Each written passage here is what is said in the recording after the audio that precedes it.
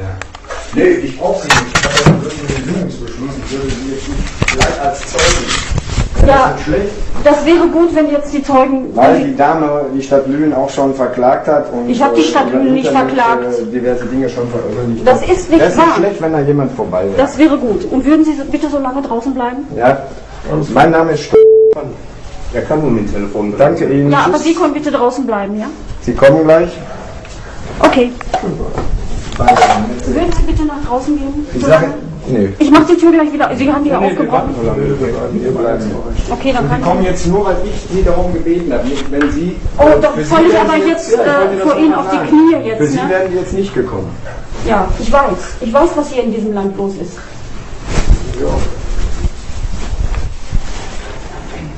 Aber wir können das Ganze ja noch abkürzen, wenn Sie vielleicht 375 Euro zwei Gästchen bezahlen. Äh, ich ich habe keinen Fernseher und ich zahle keine GEZ-Gebühren. Gut. Und äh, Sie müssen, bevor Sie hier in die Wohnung kommen, müssen Sie mir ja ein Schreiben geschickt haben, ne?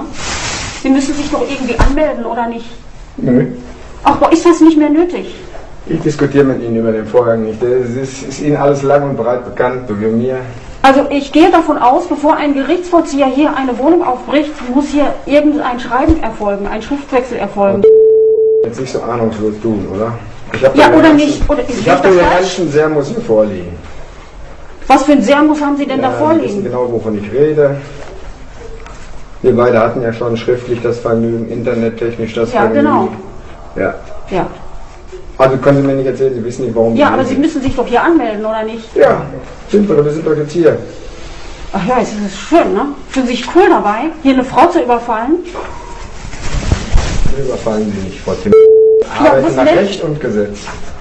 Ja, Im natürlich. Übrigen, die Polizisten, die jetzt kommen, die gehören ja zu dem Rechtsstaat, den Sie gar nicht anerkennen. Eigentlich dürfen Ja, Sie ja gar äh, nicht rufen, ist, oder? ich brauche aber Zeugen. Ja, dann. Da haben Sie aber Glück, dass die Frage Ja, jetzt kommt. ich weiß. Und ich weiß auch, warum Sie das jetzt hier so gemacht haben. Wenn Sie mich, sich noch nicht angemeldet hätten, dann hätten hier ein paar Leute vor der Tür gestanden. Wo hätte ich, hätten wir das trotzdem gemacht? Brauchen wir Ja, ich weiß, aber dann hätten wir schöne Zeugen gehabt. Wofür?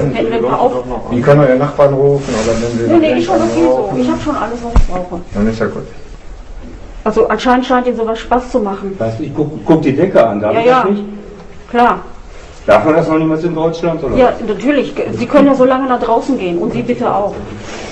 Sie haben ja gleich die Polizei dabei, dann Ja, können Sie die ich Tür bitte nochmal aufbrechen. Ich habe Beziehungsbeschluss. Sie, sind- Sie haben doch gehört, was das heißt. Die steht doch drin. Die Erlaubnis gilt und so weiter. Bei der Durchsuchung ist es dem Vollstreckungsorgan gestattet. Welchen Vollstreckungsorgan? Geben Sie mir bitte Ihren äh, Ausweis? Ich gebe Ihnen meinen Ausweis überhaupt nicht. Ich kann Ihnen den vorzeigen. Ja, dann bitte zeigen Sie mir den mal vor. Ja, gerne. Darf ich da auch reingucken? Nein, ich gebe ihn nicht aus der Hand. Name, Dienstausweis. Bürgermeister. Das ist ein Dienstausweis. Wo ist der? So. Den anderen Ausweis brauche ich Ihnen nicht zeigen. Also Sie können hier meine Ich bin Tür ja nicht als. Privatperson. Ich bin ja als Wissen Sie, ich stand hier gerade unter der Dusche. Ja. Und Sie brechen hier meine Tür auf. Nee, Sie waren ja im Zimmer. Ich war unter der Dusche, als Sie angeklingelt haben. Also noch haben wir sie ja nicht aufgebrochen. Ist ja alles intakt, so wie ich das hier sehe. Ja, wie sind Sie denn hier reingekommen, bitte? Habe ich die Tür aufgemacht? Ja, wir sind vom Fach. Ach, Sie sind vom Fach. Ja, ist ja super. Dass Sie sich für sowas hergeben lassen hier.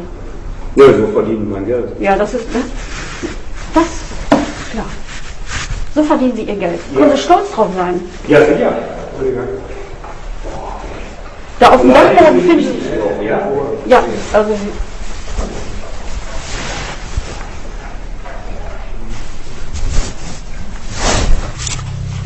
Okay. Ja, ich weiß, was Sie für ein netter Mensch sind.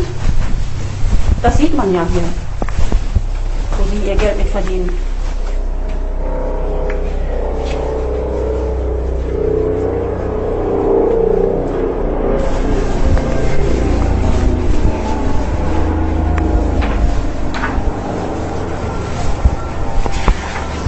Ähm, darf ich mal fragen, welcher Richter hier unterschrieben hat?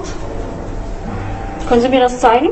Nee, sie haben ja die Durchschrift bekommen. Ja, ich sehe das ja hier. Hier steht aber äh, Justizsekretärin hat hier unterschrieben. Wo steht hier der Richter? Blättern Sie doch mal ein bisschen. Ja, wo ist die Unterschrift hier eines Richters? Blättern Sie doch bitte mal. Da steht doch, welcher Richter das ausgefertigt hat. Ja, aber ich brauche eine Unterschrift von dem. Ja, ja. Sie mit Ihrer Unterschrift. So, da steht, dass man das gemacht hat. Also Dr. Richter am Amtsgericht hat das Frau steht, ja, so, das weiß ich ja nicht, das steht hier nicht. Hier steht nur Dr. Mann und hier ist keine Unterschrift zu sehen. Ja, dann ist da keiner. Dann, ist, dann auch Polizei. Das ist nicht hier. Meine Schelle hört sich anders an. Sie wollen doch hier nicht für meinen Nachbarn die Tür öffnen, oder? Außerdem ist das immer noch meine Wohnung. Da auf dem Dachboden können Sie nichts finden. Ach so. Ich sage Ihnen nochmal, keine Bilder, auch keine Gespräche aufzeichnen, bitte. Wenn Sie was anhaben, machen Sie es bitte aus, bevor ich jetzt reingehe und das ausmache. Ich möchte nicht, dass ich hier aufgenommen werde. Letzte Chance für Sie. Ich habe hier nichts an. Gut, dann darf ich ja sicherlich mal gucken, ob Sie dann einen Turmband liegen haben. Äh, Sie warten doch bitte, bis die Polizei kommt. Ich habe einen Durchsuchungsbeschluss. Ich muss gar nicht warten. Vielleicht passen Sie bitte auf meine Tasche auf. Machen Sie bitte einmal, sagen Sie mal, ob Sie mal Gespräche aufschneiden. Oder sonstiges.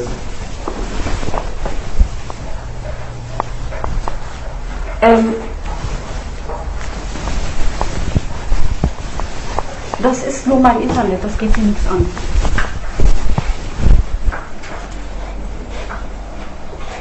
Wenn ich hier eine Kamera versteckt hätte, dann würden Sie die nicht finden. Ja, das kann ich mir vorstellen.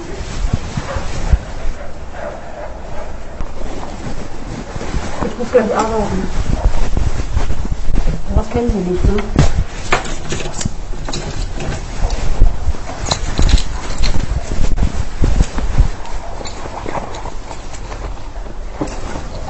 Es dauert wohl noch ein bisschen. Wenn Sie weg müssen, lassen Sie sich nicht aufhalten. Nee, danke, ich warte noch. Sie können mir den Verdienstausweis schon bezahlen. Jetzt können Sie Ihre Handschuhe wieder anziehen. Genau. Keine Ahnung. Hol dir auf. Sie kennen sich doch gut aus in Wohnungen, oder nicht? Dankeschön.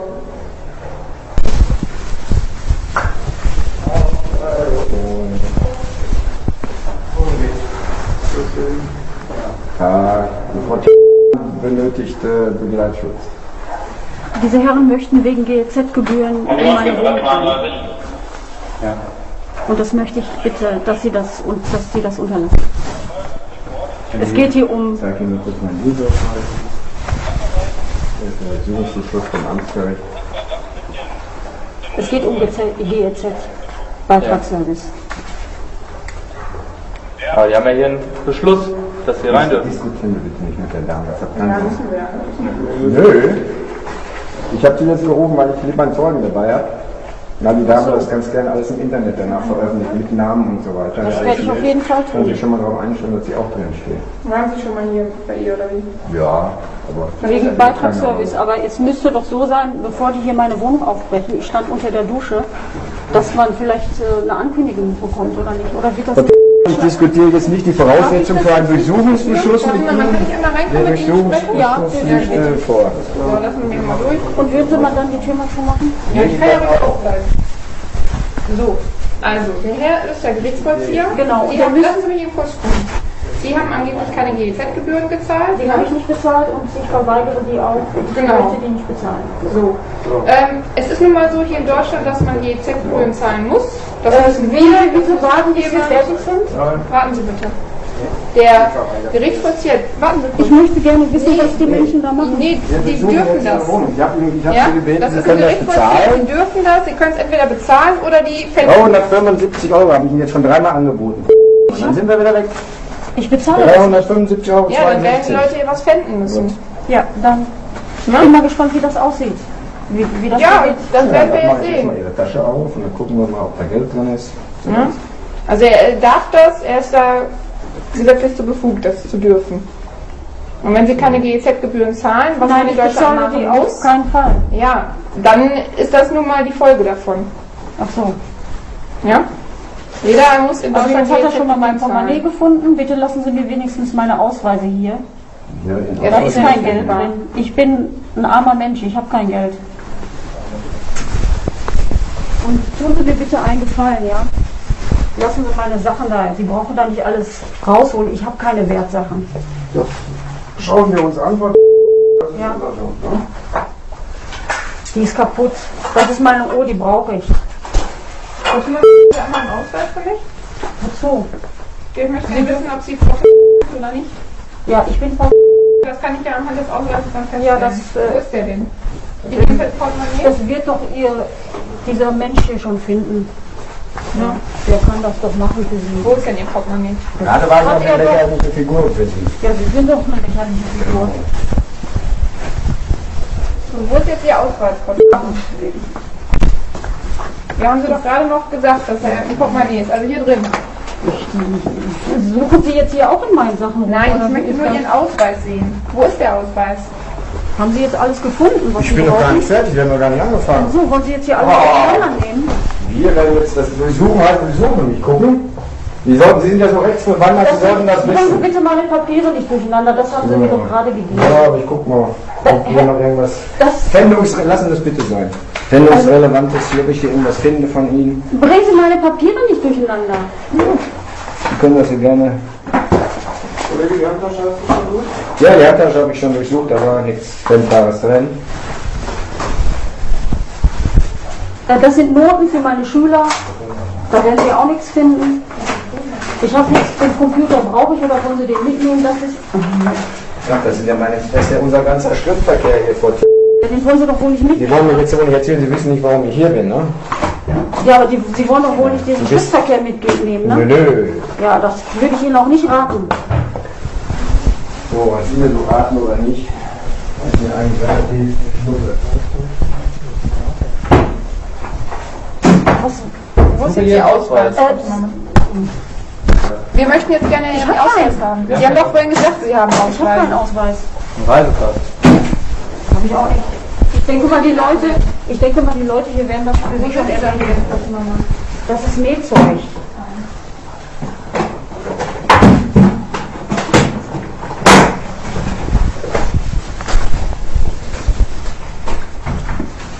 Sie gerade einen Ausweis gefunden von ihr? Nein. Jetzt beteiligen Sie sich hier auch noch an der Suche. Nee, ne? wir haben Sie aufgefordert, Ihren Ausweis rauszurücken und das Also müssen Sie ich habe sie, hier ich hab sie hier geholt, damit Sie mir helfen. Ja, das können wir ja, wenn Sie das Ganze bezahlen. Das ist nichts für Sie. Schreiben Sie bitte nicht meinen Namen ins Internet. Wir beide sind noch vor Gericht. Ihr Name, Bescheid. Ihr Name steht doch schon im Ja, Sie, wir besprechen uns auch nochmal Ja, deswegen. das macht Die Oberstaatsanwaltschaft hat schon eine Beschwerde bekommen. Ach ja. Machen Sie keine Sorgen, Frau Das ist noch nicht ganz ausgestanden für Sie. Also den Drucker können Sie gerne mitnehmen, der ist kaputt. So, was wir denn noch? Die anderen Zimmer habt ihr alle durch? Ich hoffe, Schlafzimmer noch nicht, ne? Ja, da können Sie sich auch gerne an mein Schlafzimmer verbreiten, bitte. Hier werden Sie nichts Wertvolles finden.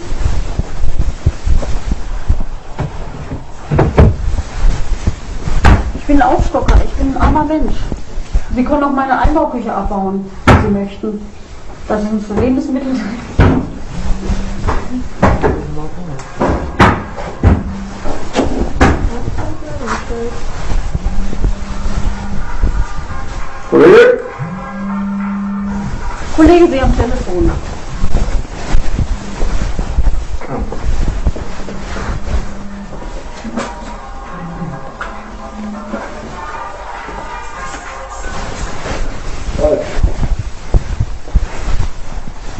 Ja, guckt mal. Ich kann den Schlüssel Da war schon jemand. selber abholen. Sie haben gerade Ihre Wohnung durchsucht, den Schlüssel gebe ich gleich bei der Polizei, da können Sie den abholen. Ab 15 Uhr. Also, also Sie Ihre Schulden nicht bezahlen. Sollten Sie besser wissen wie ich. Das eigentlich ich habe gerade gerade acht Uhr warten. Habe ich ganz viele dass Sie so behandelt werden? Es ist ein neues Gesetz in Deutschland, dass man GEZ-Gebühr zahlen muss. Das ist jetzt Ja, ich habe so und das muss man akzeptieren, wenn man hier leben möchte. Ne? Ja, ich möchte das aber nicht akzeptieren. Ja, dann sehen Sie ja, was da passiert. Zahlen auch Mehrwertsteuer, einkaufen, oder? Ja, natürlich, das bleibt mir nichts anderes über. Ja, Genauso ist bei GZ. Ja, okay, tschüss. Nee, es sind viele. Es sind ganz viele, die das nicht bezahlen. Ja, ich weiß. Ja, und was halten Sie davon? Das- Das sagen Sie, das ist, die machen ihren Job und das ist egal. Ich hatte sogar gerade Schwierigkeiten, hier überhaupt jemanden von Ihnen nach hier zu kriegen. Erstmal ging da keiner ans Telefon und ja, das ist doch. Die können hier einfach rein und meine Wohnung. Ja, hier finden Sie nichts. Was am Bankdaten oder was? Sie sagten, Sie stocken auf? So, Also, äh, ich denke mal, äh, Sie wissen alles über mich. Sie können doch heute alles über mich einsehen. Haben Sie Zeit, sich mit mir für das Protokoll hinzusetzen oder soll ich das alleine schreiben oder würden Sie mir auch per persönliche Daten noch Ich beantworten? beantworte Ihnen keine persönlichen Daten. Das, Sie können schreiben, was Sie wollen. Aber schicken Sie mir bitte, können Sie das nicht draußen machen? Nö. Müssen sich noch da an meinen Küchentisch setzen und ihre dreckigen Handschuhe da auf meinen Tisch legen, dass mir schlecht wird? Wie viele Wohnungen haben Sie denn schon durchsucht heute? Also hier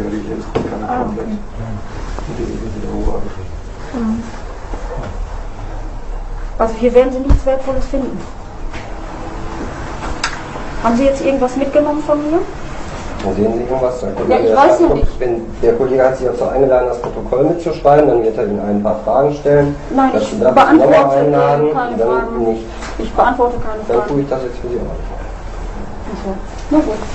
Würden Sie dann schon mal rausgehen? Die beiden bleiben hier bitte drin. Das sind auch meine Zeugen. Oh ja. Ja, weil ich weiß, das wird wieder ein Nachspiel haben mit Ihnen. Natürlich, auf jeden Fall. Ja. Ja, Sie glauben doch wohl nicht, dass wir uns das gefallen lassen. Wer ist denn hier? Wir sind eine ganze Menge. Ach so, Ja. wollen Sie mir schon wieder drohen? Nächstes Mal dann, Also Sie brechen in meine Wohnung ein, brechen hier meine Tür auf. ich sage das mal in aller Freundschaft. Sollten Sie noch einmal meinen Namen im Internet oder irgendwas von mir veröffentlichen, steht irgendeiner von Ihnen oder Ihren Kumpanen vor meiner Haustür. Das, ich weiß ja Ich jetzt, das wie- nur vorher. Wissen Sie was, ich weiß ja jetzt, wie es funktioniert. Sie können auch noch zehnmal vor meiner Haustür stehen. Macht mir nichts aus. Gut. Sie können hier immer wieder kommen. Und Sie können sich die GEZ-Gebühren hier jeden Monat neu reinholen. Das macht mir überhaupt nichts aus. Herr Stitz.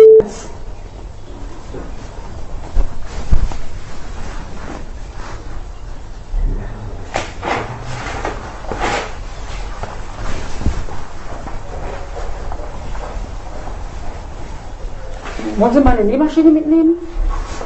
Könnte ein Tonbandgerät eingebaut sein. Bestimmt. Ja. Sie haben nicht richtig geguckt. Gucken Sie noch mal nach. Hier ist bestimmt eine Kamera. Bestimmt. Sie haben ja schon fleißig im Internet geschrieben, dass wir bei ihm stehen. Ja, habe ich schon.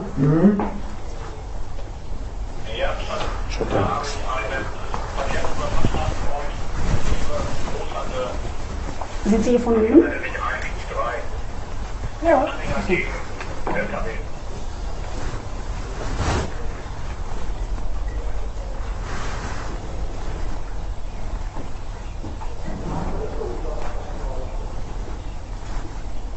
Füllen Sie doch ruhig irgendwas aus. Ja, ja, ich bin dabei. Ja, ja.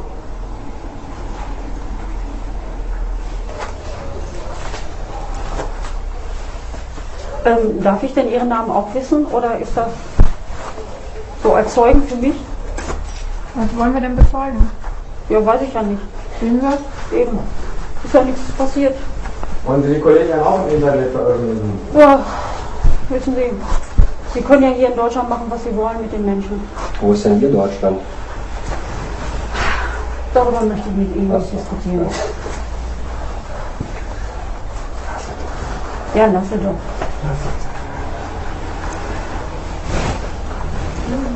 Und übrigens, ähm, alles, was in meiner Wohnung passiert, darf ich ja veröffentlichen. Ich habe ein Hausrecht. Ja. Oder sehen Sie das nicht so? Zwei- Ich habe Ich ein Hausrecht. Also darf ich hier alles veröffentlichen und das werde ich auch tun. Und Ihren Namen werden Sie mir natürlich auch nicht sagen. Ne? Sie stehen hier in meiner Wohnung und. Ne? warum? Wollte ich das jetzt nur sagen. Ist das gut so? Ist das für Sie richtig? Dass Sie in meine Wohnung einbrechen? Habe Ihnen nichts getan. Habe ich Ihnen hat ja irgendwas getan? Sollen auch, wir tun Ihnen doch auch nichts.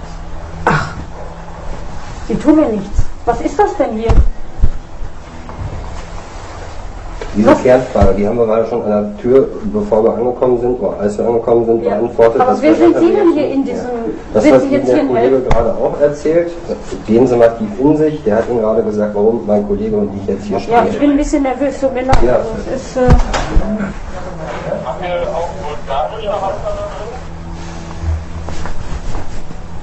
sind Sie da bald fertig mit Ihrem Ausfüllen? Gut Ding braucht Weile. Ja, dass Sie was Gutes machen, kann ich mir nicht vorstellen. Das kann ich mir ganz gewiss nicht vorstellen.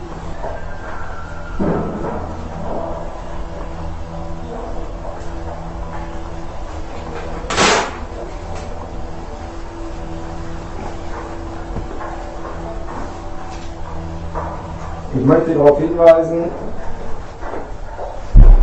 dass Sie im weiteren Verfahren mit, mitwirken müssen vor gemäß 283, 288 Strafgesetzbuch.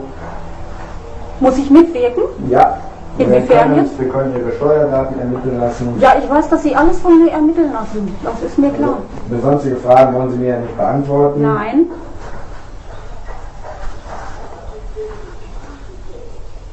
Was ermitteln Sie denn noch so von mir?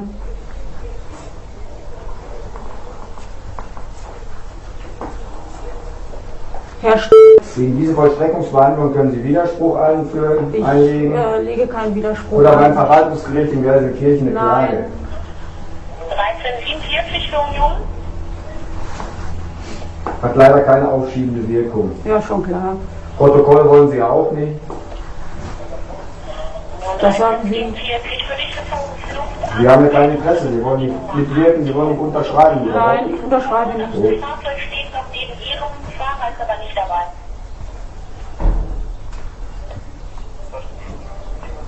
Ähm, bekomme ich denn äh, irgendein Schreiben, jetzt ein Schriftstück von Ihnen, so eine Zahlungsaufforderung oder irgendwas sowas? Haben Sie alle schon bekommen. Ich glaube vier oder fünf. Ja, aber dass Sie jetzt hier in meine Wohnung eingedrungen sind? Sie haben den Durchsuchungsbeschluss, Sie können sich bei der Richterin am Amtsgericht beschweren, weil das sind nur die ausführenden Personen. Sie haben das ja nicht gemacht.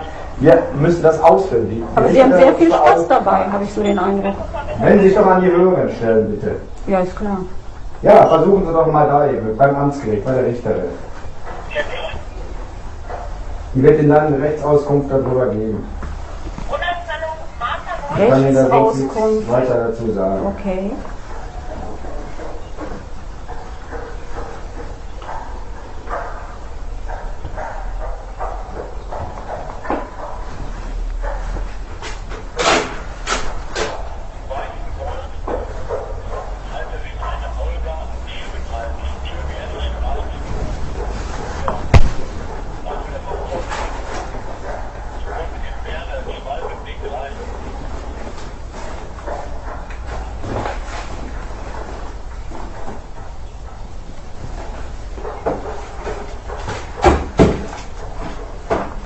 So, dann erkläre ich hiermit die Vollstreckungshandlung für beendet.